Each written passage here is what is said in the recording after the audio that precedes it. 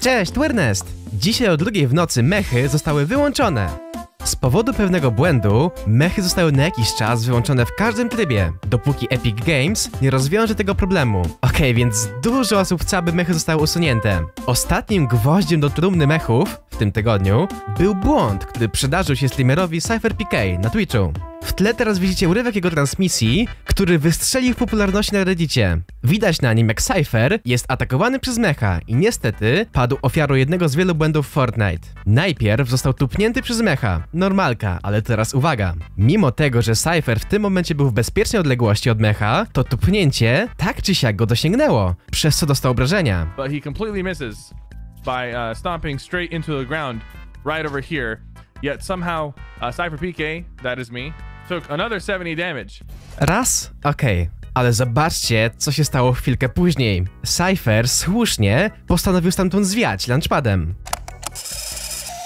As I shockwave, Mr. Ba- Base Blaze goes to try to kill Mr. Virox. That is not me.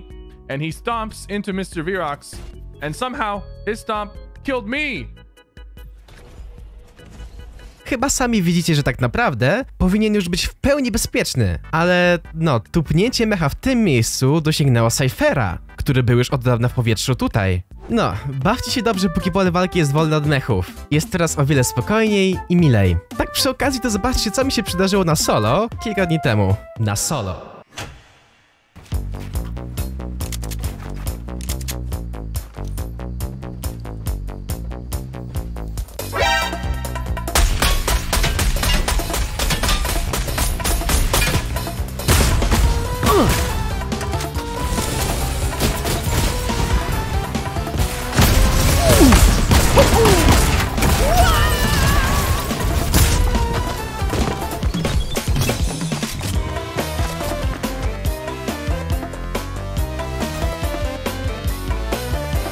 Ta zmiana jednak nie zaszła na stałe. Twórcy gry, jak tylko naprawią ten problem, przywrócą mechy na pole walki.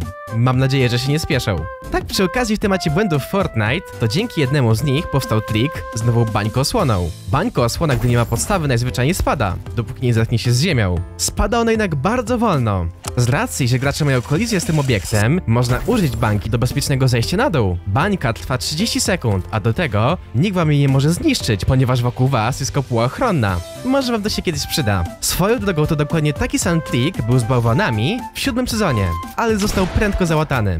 Temacie zmian na mapie, to już od prawie dwóch dni w zgubnych ziemiach stoi nowy nadajnik szczelin. Z ekranu wczytywania za nadchodzący tydzień wyzwań wiemy, że nad zgubnymi pojawi się wyspa Kevina. W aktualizacji, która powinna być we wtorek, powróci wyspa Kevina, ale będzie nieco inna niż ta, która była w szóstym sezonie. I to w sumie tyle. Ja już dziękuję za oglądanie i do zobaczenia w busie bojowym.